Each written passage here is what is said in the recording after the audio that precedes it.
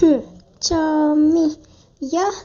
A lot of things are happening there. Like I'm at a point right now where really things do not shock me anymore. I'm just like, uh huh. Okay. So either way, guys. Now today we're gonna talk about Dennis Ipumbu Noa. But now before I get into this video, I just have a disclaimer. I want you guys to know that everything that I'm gonna discuss in this video is public knowledge. It's public record. So yeah, it's things that I got off from the internet. If you're gonna come for me, I'm sorry. The information is already out there.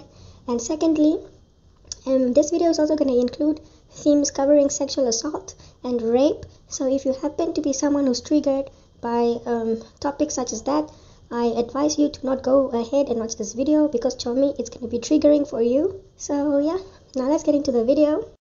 So either way, Chomi, um, Dennis Ipumbu Noa, he is 26 years old and he's going to be turning 27th on the 20th of September. Furthermore, he is a twin. He has a twin brother who unfortunately passed away um, in in 2020 December. He passed away in a freak accident that involved a gyro a gyrocopter. Mm, so yeah, and then also his educational background. Well, basically he did finish his high school at DHBS in the year 2012, and then the following year he enrolled at UNAM um, for medical school. You know, studying to become a medical doctor. So yeah, um, people have revealed that he was quite a very bright student in high school and also quite hardworking in varsity. So yeah, and then in the year 2015 he was elected. Yeah, he was elected as an SRC member, Secretary General to be exact. That was not in 2015, and um, yeah, so basically he was quite busy, and now um, his father well, interestingly to most of us, his father is Paulus Noa. Now, Mr. Paulus Noa, he is the, the director of the ACC, the Anti-Corruption Commission of our country. And then his mother is a teacher by profession. So he comes from a family of individuals who are quite very well educated and successful in their careers.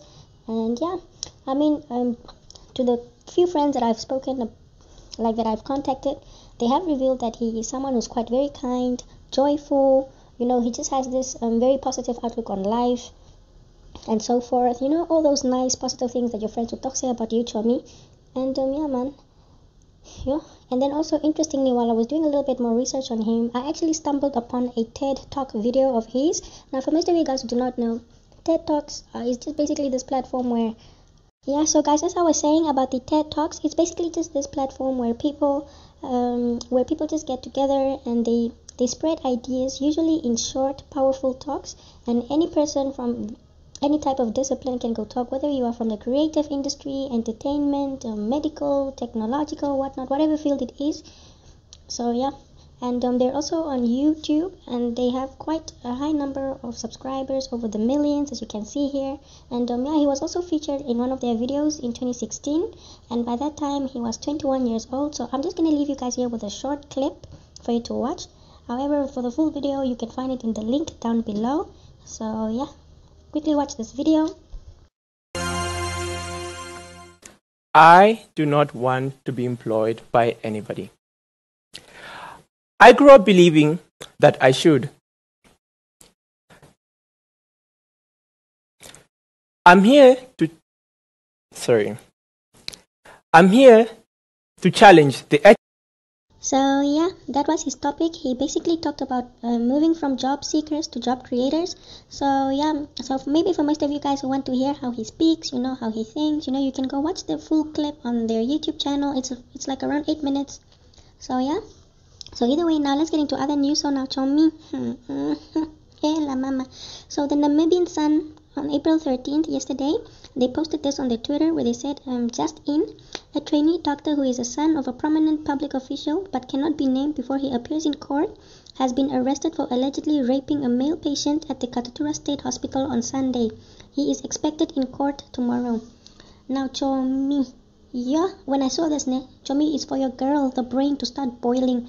Firstly, because it's a it's a rape and then secondly the person's name is being protected just because Obone it's from a prominent official what what what? So me I was just like name and no had it been Zakaria from Onipa or Kariba Sen from Korikas Chomi we would have known about their names how they chew food what they eat who their ancestors are you know everything all the information. Mm-hmm. so for me I was just like ah, these people are name but either way that's just my opinion. I really didn't like the fact that people's names are being protected and so on but yeah Um, so now Chomi, the allegations that have been brought forward against um, against um, Dennis Noa, well, what is being alleged in the newspaper and in the newspapers and other media, the allegations are that apparently he raped the victim. Allegedly, he allegedly raped the victim who was in hospital for treatment.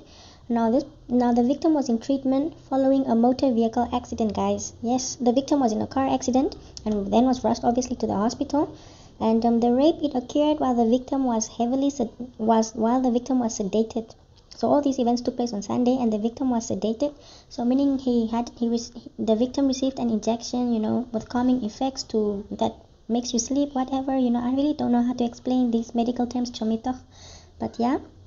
So what I understand how you know this really blew up was that um, a used condom was found on his bed, and no, not a used, an unused condom was found on the bed and then I believe from there on, you know, further investigations were taken as to how it got there. You know, other checks were done, and then it is also being alleged that um, semen was found in his rectum. So yeah, show me that's what happened. So now, um, Mr. Dennis Noa, he was then arrested yesterday, and he was detained at the Wanaheda police station in Katutura. So then, yeah, so that's what happened. And show me honestly, ne, I'm now basing my opinion off of the allegations. Show me, I am disgusted. Sure. Yeah, I am a Jomi. Imagine someone being taken advantage of already coming out of such a traumatic experience such as a motor vehicle accident and now uh, the world is sick people are sick and i'm very very disappointed and i don't even have words anymore to me this is just horrible it is horrible horrible it's mo- only monsters do this type of things and shoo uh-uh. i'm done good say jehovah uh-uh. Oh yeah, um, Dennis is also being represented by lawyers from the Shikomba Law Chambers. So yeah, his lawyers are represent his lawyers are from there.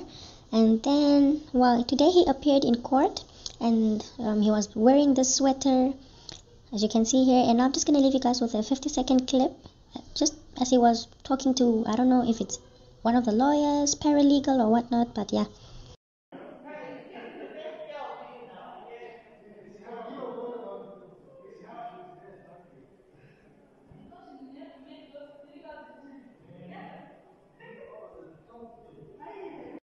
So yeah, Chomi, um, um, when he appeared in court today, he was basically denied bail because he applied for bail, and the bail it was denied on the grounds that you know it's not in public interest to release Noa, and then also investigations into the matter are at an infant stage.